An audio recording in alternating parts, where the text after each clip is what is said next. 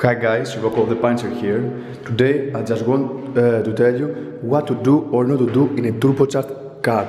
And for almost five years now, I just got my previous car, my Volkswagen Scirocco, which was a turbocharged car. So, and but now I just got my Audi TTS, and I just want to tell you what I am doing to or not uh, on the turbocharged car.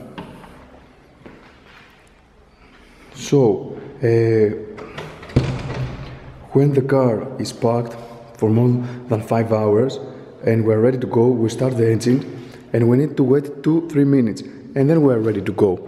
So, I will now start the car and I will wait for two, three minutes. Then I'm ready to go. I won't just leave uh, immediately.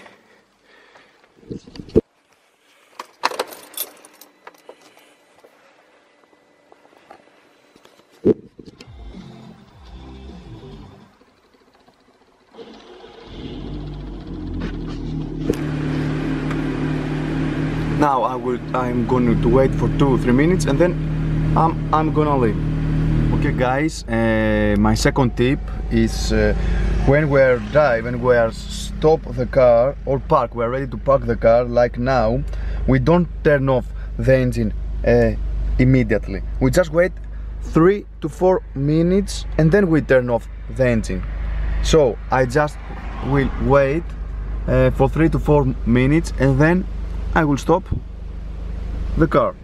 The third tip for me is that uh, uh, when we want to drive fast, we want with hard acceleration. The first thing that uh, we need to do is to check the oil uh, temperature, uh, which must be more than uh, 80 degrees Celsius.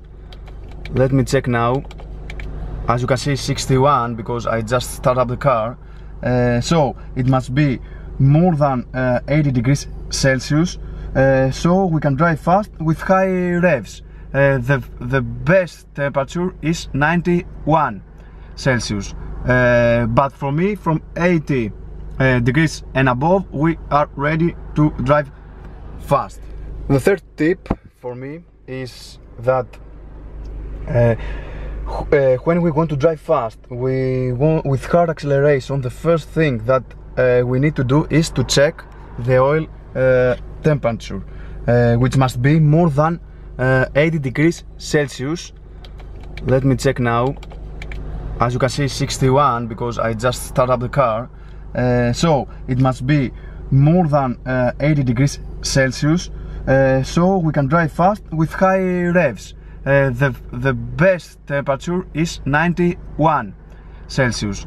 Uh, but for me from 80 uh, degrees and above we are ready to drive fast